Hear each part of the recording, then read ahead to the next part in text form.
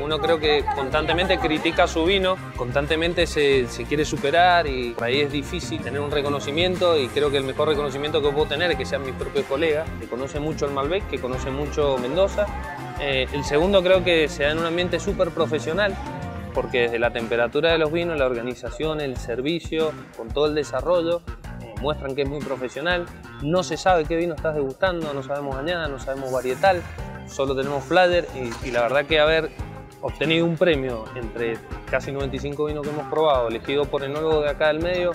para mí tiene mucha más validez realmente, personalmente, y creo que para la bodega también lo va a tener. Han elegido mi vino, para mí es súper emocionante, me muestra que tengo que seguir por este camino, creo que no hay que dejarse influenciar por la nueva era de, de vinos distintos, eh, creo que el, que el mundo y, y, nosotros mismos muy adentro queremos este tipo de vino, lo que nos entrega Mendoza.